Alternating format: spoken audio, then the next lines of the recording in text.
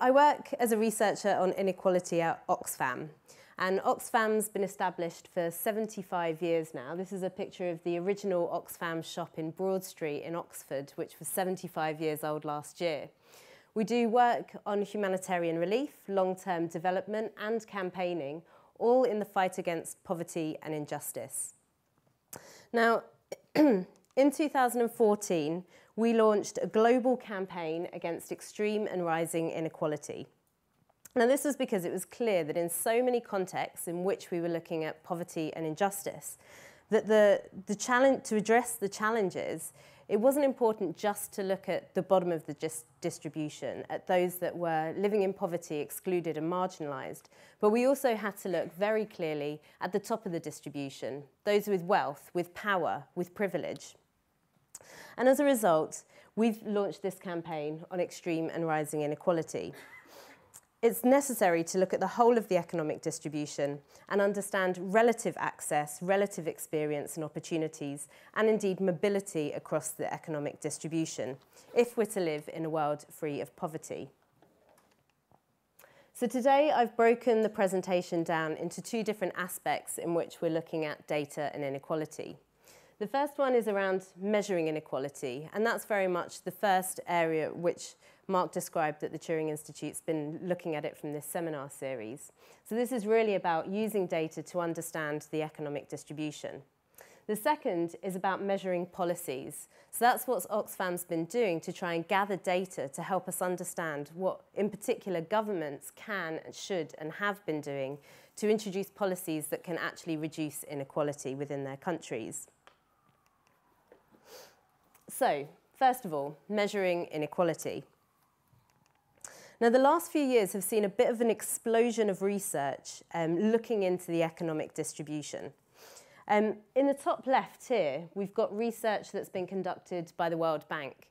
And this comes from their flagship report, which draws on the data which measures poverty and, um, and, social, and inclusion.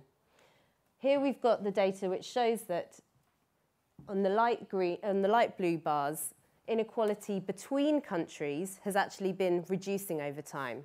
So that's as poorer countries have been growing faster than richer countries. Whilst at the same time, the dark blue bars show that inequality within countries has actually been on the rise. In the bottom left-hand corner here, this data comes from work which has been developed by Thomas Piketty and others, which has looked very much at the very top of the income distribution. Here we've got data on the share of income of the richest 10%. And over time, you can see that the richest 10% have get, been gaining an increasing share of total income. And here this work was really developed due to a recognition that household data, which tries to capture the whole of the economic distribution really underestimates income at the very top. So the richest people generally don't answer household surveys, and when they do, they underestimate the total income they have. So this data is drawing on tax records, which is a far better approximation of the incomes at the very top.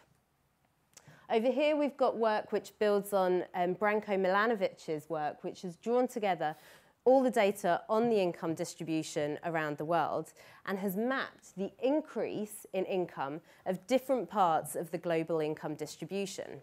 So here what we find is that over time, between 1980 and 2016, we can see globalization's winners and losers.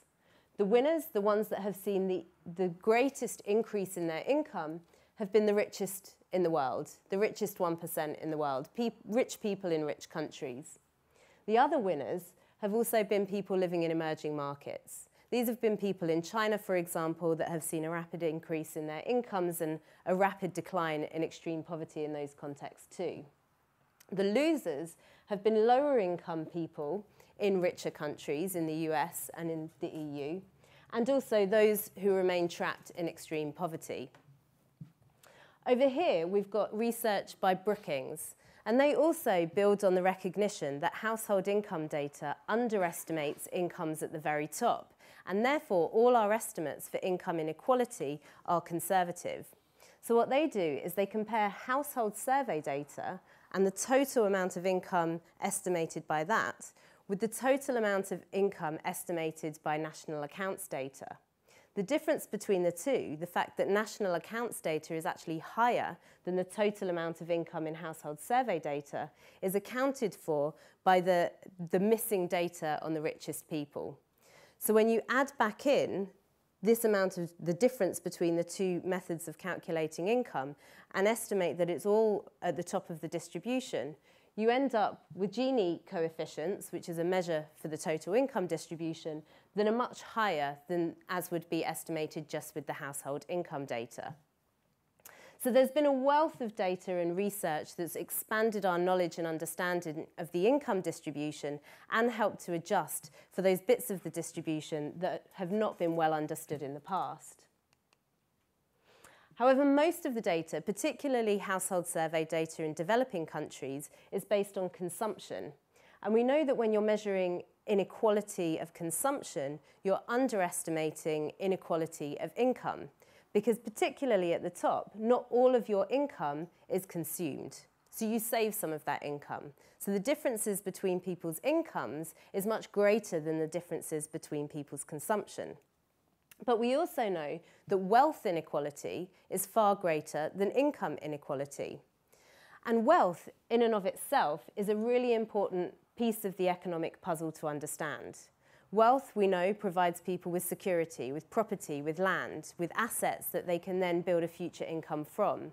It provides resources to invest in education or to start a business and to be able to re respond to shocks like a medical bill or a poor harvest. So our research in the last few years when looking at the data has really actually focused on wealth inequality and looking at the wealth distribution, as this has also been much less, um, much less thoroughly researched by other researchers around the world. So we start by taking the best available data source we have, which maps out the global wealth distribution. And this comes from Credit Suisse and their Global Wealth Data Book. And Credit Suisse Sorry, I just wanted to quickly ask what do you mean by wealth? Wealth, financial and non-financial assets minus debt. Um, so we're talking about personal wealth, household wealth. We're not talking about um, government wealth and we're not talking about natural resources. Um, so what they're doing, they're mapping household wealth distribution around the world. And this builds on about a decade of research by Anthony Shorrocks and his colleagues. And here they gather together data from national accounts on financial and non-financial assets, and again household survey data, which maps the wealth distribution between households. And so here you can see the global wealth distribution from the poorest 10% of people in the world, as measured by wealth, to the richest 10% of people in the world. Here, these poorest 10% of people, all of them are in net debt, so they have negative wealth. Most of these people live in Africa, Asia Pacific, and India, but there's also a chunk of people from the richer world. These are people living in debt in places like the US and Europe. These include student debts, credit card debts, and so on. At the top end of the distribution, you've got mostly people living in North America, Europe, and countries in Asia Pacific like Japan and Singapore and Korea. This gives us an amazing resource to delve into. The Credit Suisse data set tells us about the wealth distribution within countries and between them, and as the globe and, and as the world as a whole. So here we've got data which tells us the share of wealth of each decile in every country, but also in the world. And in the 2017 data set, they found that the richest 1% of people in the world had 50.13% of total wealth. So what that means is the richest 1% of people in the world had more wealth than the entire rest of the world put together. 1% had more than 99%. And they provide data over time as well. So we can see that particularly over the last decade, the share of wealth of the richest 1% has been increasing over time, such that it's just pipped over that 50% marker. So we wanted to think not just about the stocks of wealth and who has the stock of wealth within countries and between countries, but also about how that's been changing over time. Now we know that wealth has been growing, global wealth has been growing year on year on year. But also, because the share of wealth of the richest 1% has been growing, we wanted to understand what that would look like in numbers. So we calculated what, in real terms, the total increase in wealth had been just in the last 12 months of data. So in the last 12 months of data, in real terms, global wealth had increased by just over 9 trillion US dollars. When we looked at the increase in total wealth of the richest 1%, they'd increased their wealth by $7.6 trillion. $7.6 trillion is 82% of $9.2 trillion. So what that's telling us is that of the increase in wealth over the last 12 months, four out of every five dollars has gone straight into the hands of the richest 1%. Those people that already have wealth stocks of over 770,000 US dollars. Now, this statistic got us a lot of attention. We used it as the headline finding on a report that we published in January this year, which we took to Davos. And we did that very deliberately because the people meeting at Davos are commonly rich and powerful individuals, people in the richest 1% that have seen their wealth accumulate over the last 12 months. And what we wanted to do is remind them that their experience of the economy has been very different to that of everybody else. So we wanted to put front and centre the difference between the experiences of the wealthy and the experiences of everyone else at the forum where they're discussing the health and the future of our economy. Another data source we have used to understand extreme wealth has been data provide, provided by Forbes. So Forbes use journalistic methods to examine the assets of the very wealthy. So they look at their stock holdings, they look at their property, they look at how many yachts they have. And they provide this great publicly available source every year, which provides your names, your net worth, where they're from, and how they've made their money. This data has been collected and published since 2000. So we can also see how this data has changed over time. And in terms of the number of billionaires, the number of individuals that have assets over a billion dollars, and their cumulative wealth, we can see a clear increase over the last um, 17 years in the data. Here, of course, you can see what happened as a result of the global financial crisis, particularly when stock prices plummeted, but we've seen more than an adequate recovery of those individuals since then. What we wanted to do to put the wealth of these rich individuals at the very top of the distribution into perspective is to compare that with the data that we got from Credit Suisse, which looks at the whole of the rest of the distribution. So what we did was add up the wealth of everyone in the bottom half of the global distribution. So that's global deciles, one, two, three, four, and five the richest 10% of people in the world, people that are in net debt, so the, the negative sign here, the second decile, third, fourth, and fifth. If you add up the share of wealth of all these five deciles, so we're talking about more than three and a half billion people in the world, together they share half of 1% of total wealth. In dollar terms, that's about 1.5 trillion. In 2017, if you added up the wealth of the billionaires, you only needed to count down to 42 billionaires before you got that same value there of 1.486 trillion. So the other way that we wanted to put this wealth data in perspective is by making that strong point that it really doesn't take much, many billionaires to accumulate the same amount of wealth as the bottom half of the planet. So with all this wealth data, we think it's given us some great insights in the way that the economic distribution looks like and looks like over time. But we recognize that there are enormous caveats and limitations with working with this global wealth data. Wealth is incredibly difficult to measure. So it's a great question in terms of how we measure the wealth, even at the individual level. I mean, particularly at the top of the distribution, Wealth is very volatile, and of those billionaires that you see on the Forbes listing, their net wealth changes day to day by up to some, in some cases, plus or minus five or 10 billion a day, purely due to their stock holdings and the fluctuations on the stock market. But we also know that there's um, great use of tax havens. Many of, much of this assets can't be traced and can't be found, um, and that some of the individuals, be they royalty, aren't included on the Forbes list at all. And their, their assets and their wealth is intertwined with the, the wealth and the assets of the state. Meanwhile, at the bottom of the distribution, the quality of data is extremely poor, where people's assets, people's wealth, is really about how much livestock they have, or land which is very difficult to value, and, and property rights are very unclear. The data, particularly in Credit Suisse, is openly described as of poor quality for many countries in the developing world. Of course, debt, we, we take into account debt in all our calculations, and that comes up as a negative um, in, in our wealth calculations. But debt isn't always negative. So taking out debt, having debt, doesn't necessarily mean that you're poor and doesn't necessarily mean that you're vulnerable. Particularly, for example, the, um, the criticism we always get when we talk about wealth statistics is the, the Harvard graduate, the graduate that has several hundred thousand dollars perhaps worth of student debt, but is also on a very high salary and will recoup that debt very quickly. And finally, there's a, a non-linear, or at least a, a murky relationship between income and wealth. So again, just because somebody doesn't have much wealth doesn't mean they're poor.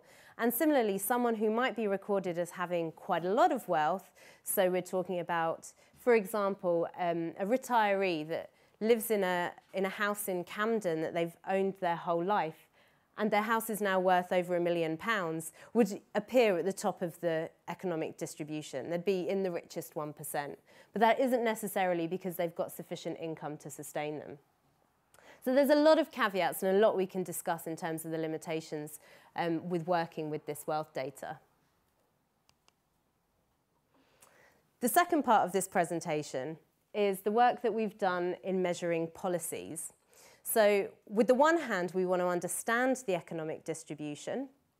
And we've been do doing that by looking at other research on the income and the wealth distribution. But the purpose of Oxfam working on inequality is that we want to do something about it. And we want to incentivize change as well. So what we're looking at here is all the policy tools that governments have at their disposal to have an effect on the economic distribution. So we know that they have a range of policy tools at their disposal. Governments can do a lot to augment the economic distribution. For example, spending. We know that spending on social protection directly puts money in the hands of the poorest people, and that spending on health and education um, puts money in kind in the hands disproportionately of those at the bottom of the distribution. We know that tax can, if managed progressively, can be used to take money from the richest people in society and close the gap between the rich and the poor. And of course, within the labour market, rules and regulations can determine how market income is distributed in the first place. Now, these are kind of standard or general policy tools that a government will have at its disposal. There's many things that a government can do, particularly around the specific inequalities in the society, around gender, ethnicity, spatial differences. But what we wanted to do is come up with some general rules of thumb that we could compare between countries and use as an incentive to get governments to look at their policy mix and what they're doing to reduce inequality in comparison with their nearest neighbours and their peers. So using those three general areas, spending, tax and labour markets, we've produced an index which includes indicators that are looking at all of these three policy areas. So I'm just going to take you in turn through each of these three policy areas and how we're measuring whether governments are doing enough to reduce the gap between the rich and the poor. We're measuring a bunch of different stuff here. All these different indicators are on completely different scales. So to produce an index, we had to standardize the data so that we can pull it all together into an index. And we just used the most straightforward approach. So we used the min-max methodology to standardize all those indicators to a zero to one scale. And we did that using the highest score in the sample, getting a one, so a country that's actually achieved the best score possible will always get a one, and the country that scores the lowest gets a zero. So we're using real or actual minimum and maximum values to rescale that data. We also had support from the um, Joint Research Council at the European Commission, who gave us an audit on our approach to this, and we adjusted some of our indicators accordingly and threw out a couple that didn't fit the model that we were looking at. So this slide, this, um, this diagram actually comes from Nora work at the Centre for Equity project. So there's a, a, a whole research, um, which I'll actually get to in another slide later, which is looking specifically at the incidence of different policies along this flowchart and how they can be effective at reducing the distribution, the, the inequality.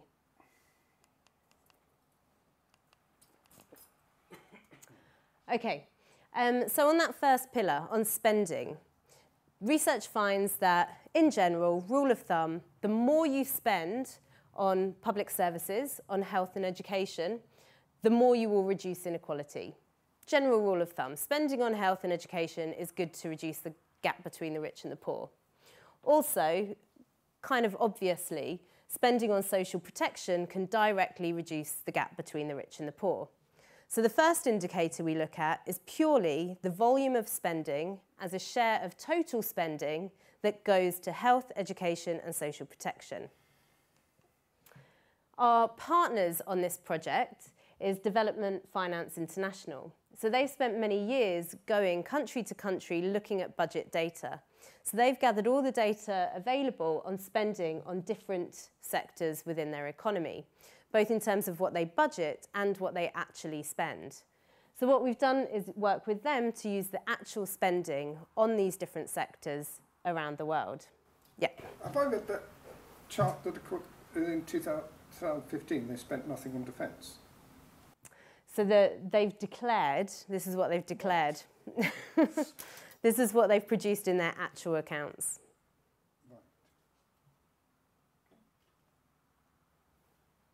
If there's no data there, it's because of no data, not zero spending. But we're, we're taking from this, we're only pulling the social protection, the education, and the health data out of that.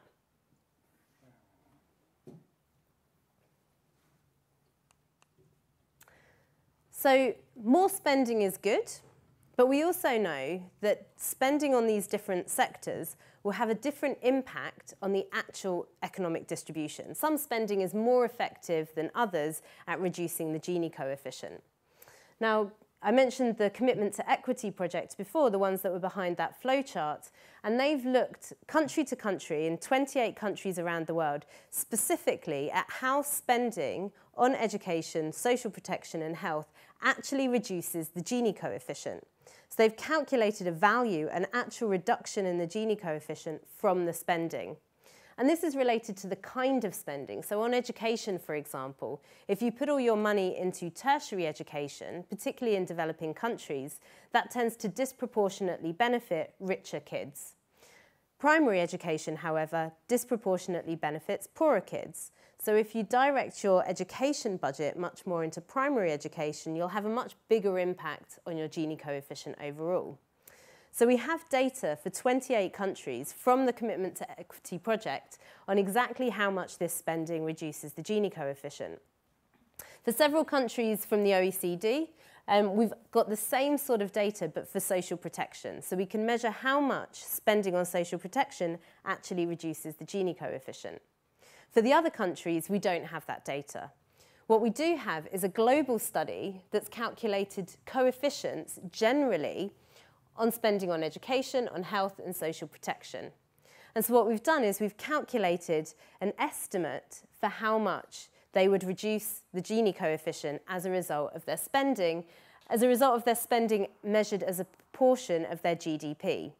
So you have their spending as a proportion of GDP on education multiplied by the coefficient on education to estimate how much that education spending would reduce the Gini coefficient. And so our first pillar on spending looks like this. We've got all the data on education, on health and social protection. This is just the volume stuff averaged out. And then we've got the estimate for how much we would actually be able to reduce the Gini coefficient as a result of this spending. And then we average between the two. Very straightforward. The implicit weights are, that's worth the same amount as that one, as that indicator. The second pillar is on tax. A general rule of thumb here that we've used is that VAT is a regressive form of tax.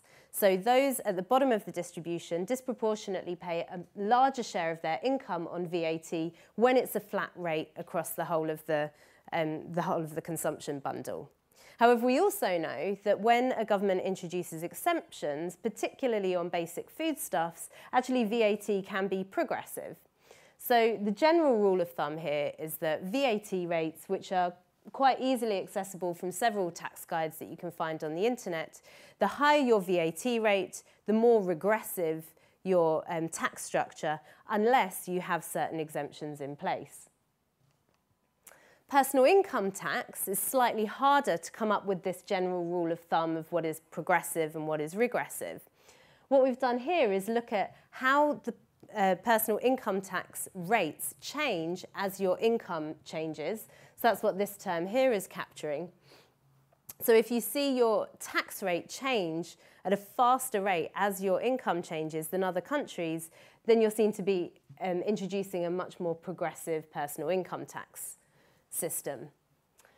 We then wanted to include um, the to top tax rate, so giving credit for countries that have a higher tax rate for top earners at the very top, but also wanted to consider the fact that we need a threshold that's high enough for those at the bottom of the distribution to avoid paying personal income tax. It took us a long time to come up with this formula. It is by no means perfect, and there's lots of interesting ways in which um, a country could, if you like, game this formula. Um, and this one in particular is something that we're really interested to hear from others in terms of how we can better measure the progressivity or regressivity of personal income tax um, structures that look so very different around the world. Not all countries have what we understand as different tax thresholds kicking in at different points in time.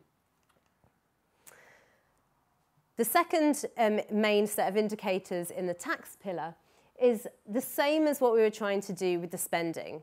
So it's one thing to have your personal income tax, your VAT on paper. This is just what exists in the law, what you've written down the tax rates are. It's another to calculate how much is actually collected as a percentage of GDP and the extent to which that's actually going to reduce your Gini coefficient. So we use the same approach that we did with the spending data.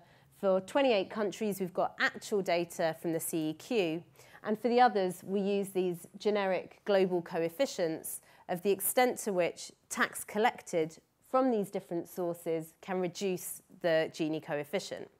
Now, of course, some taxes can actually increase the Gini coefficient. So some taxes are regressive. And that's why you see, as for example with VAT, that that coefficient is positive. So we know that the more you collect from certain kinds of taxes, the more you can actually increase your Gini coefficient.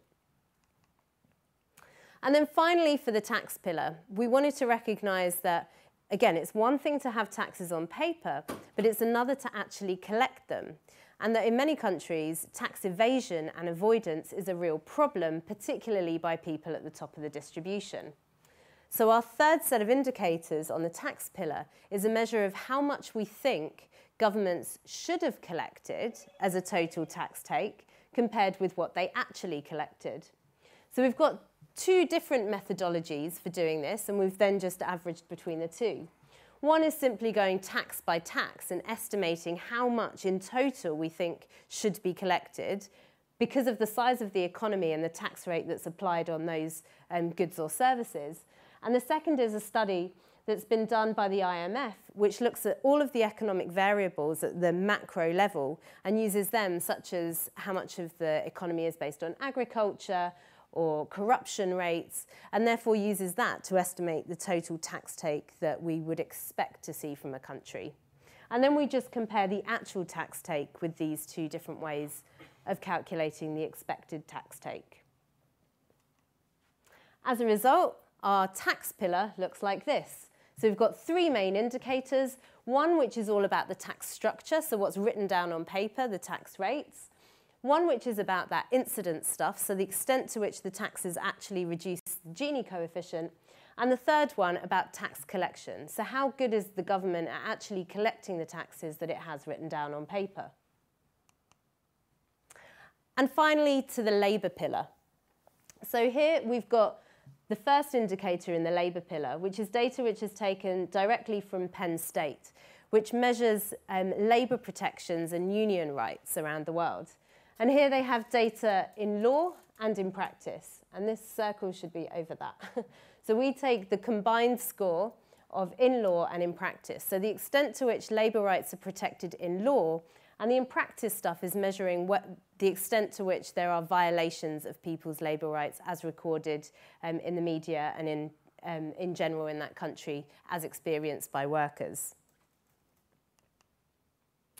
The second indicator is taken from the World Bank's Women, Business and the Law Guide and is looking at discrimination, gender pay discrimination and paternity rights in law in all the countries that we've got on our index. So it's 152 countries on our index.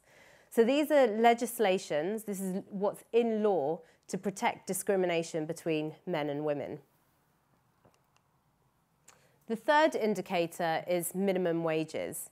And here we look at the level of the minimum wage as compared with the average level of income in the country. So countries where the minimum wage is a higher is higher compared to um, the average income in the country get more credit for setting a minimum wage that helps to close the gap between the richest and the poorest. Now we know with all those three indicators, so with the labour union rights, with women, women's rights in the workplace against discrimination and pay discrimination, and indeed with minimum wages, this of course only applies to people that are working in the formal sector. And particularly in developing countries, the informal sector is very large, and in, in many countries, the unemployment rate is very high. So all these great laws and legislations will actually not do very much to close the gap between the rich and the poor if not many people are covered by this legislation. As a result, we deflate these three indicators by, first of all, a measure for the informal sector, and second of all, a measure for unemployment rates. So if you take a score, let's say a country scores a, a 0.7 on our rescaled um, index between 0 and 1, and half of the economy is working in the informal sector, then that 0.7 score translates immediately to a score of 0.35.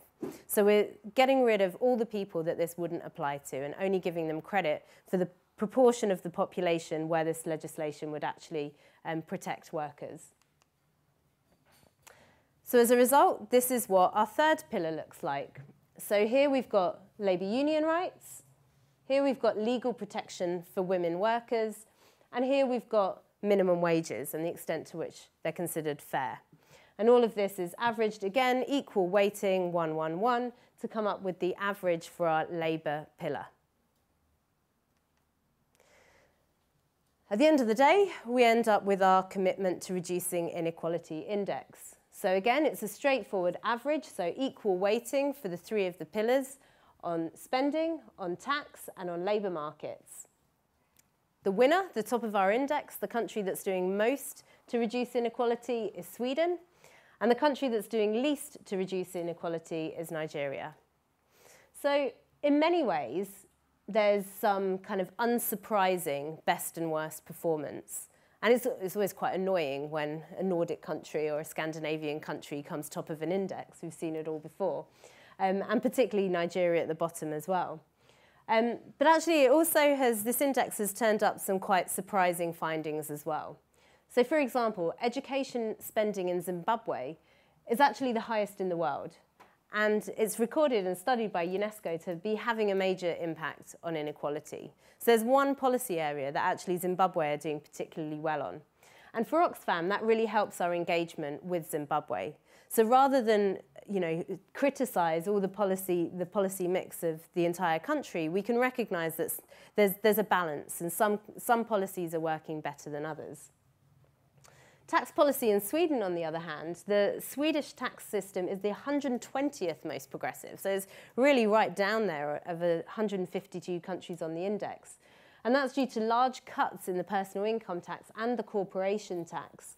Um, and that really challenges Sweden's widespread image for being a very progressive economy. In particular, we found that in Namibia and South Africa, they do quite well on the index. And these are two of the most unequal countries in the world. And we looked into this in more detail, and, and there's a quite complex relationship between the level of inequality and the extent to which we're finding through this data that governments are implementing policies that are reducing inequality.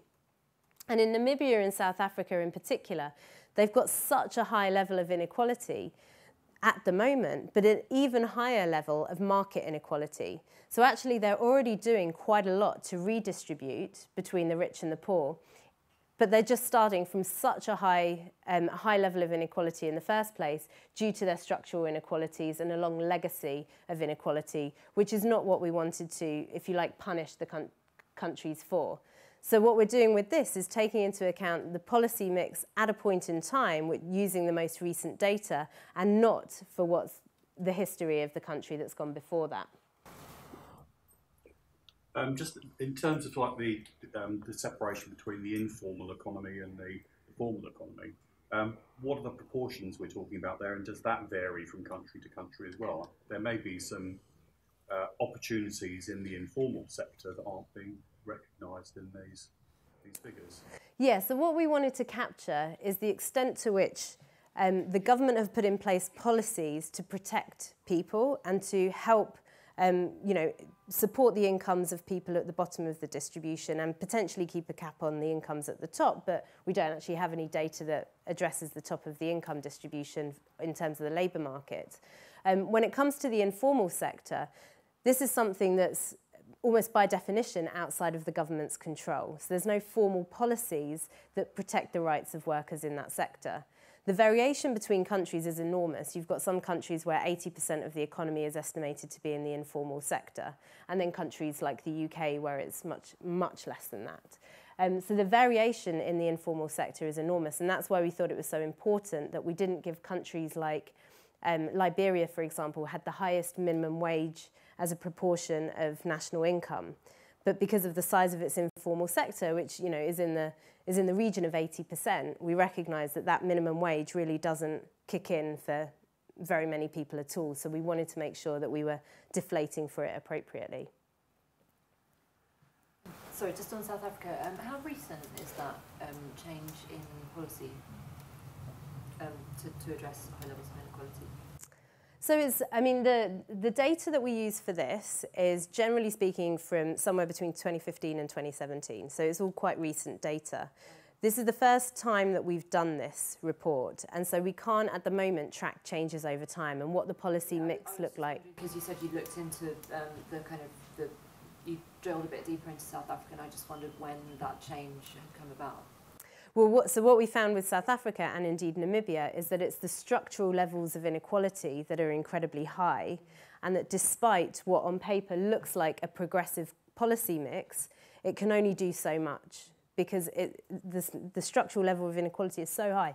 Even if you essentially get a really good score on this index, you're still not going to be able to bring down income inequality very far. And certainly it will still be one of the, the most unequal countries in the world. So this is a pilot and it's all very new and it was put together in the last 18 months and published in July last year. And the feedback that we've had when we've shared this with people around the world, including you guys and what I'm looking for some feedback on as well, is that it's valuable. It makes a valuable contribution at the global, regional and national level. It provides comparative data with which we can start to understand what governments can do on some quite general rule of thumb policy areas. Um, there are some, some really kind of interesting and complex relationships between the data and some other variables like GDP per capita, like those structural factors, like in South Africa, for example, where you've got a legacy of inequality that's really embedded. Um, the relationship with inequality itself is not straightforward in the case of South Africa and Namibia um, and of course human development. So what we've been looking at is the kind of relationships between the commitment to reducing inequality index and some of these other areas. But the questions we've also been asked are, are we measuring the right things? So we haven't got anything at the moment in there on governance and the extent to which people have voice and influence over the policy mix. And that has been really integral to the way that Oxfam's been looking at inequality. Our very first report on inequality was looking at the concentration of wealth and power and how that influences policies at the highest level. So really, we should be thinking about what kind of indicators we can use to recognise the importance of governance being inclusive as well. We're really weak on the gender, race and ethnicity um, inequalities and what governments can do to address them, but recognising that many of these are very difficult to compare country to country because the, the different horizontal inequalities or characteristical inequalities vary so much country to country. And at the moment, I mean, it's especially um, irritating that I started this um, presentation with a discussion on the wealth distribution and how extreme inequality of wealth is around the world, but we don't currently have good enough data that we can compare between countries on wealth taxes. So that's something that we're really looking to develop because property taxes can be some of the most progressive taxes if administered well in the world.